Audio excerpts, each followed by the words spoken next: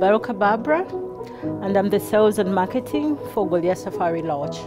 So I'm presenting Gorilla Safari Lodge, where most of people go for Gorilla tracking, and we're five minutes from the starting point.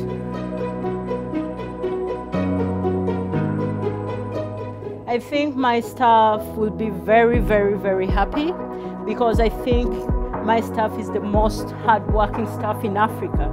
So I'm very, very excited when I return home because this is also the second time we are winning this award in Africa. So it's really, really going to be a big party.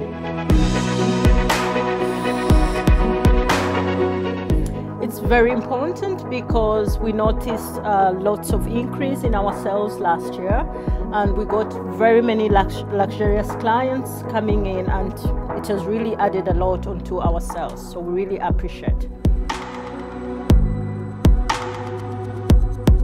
The event i enjoyed the songs meeting different people from all over the world also making new friends networking so it has really been a very good event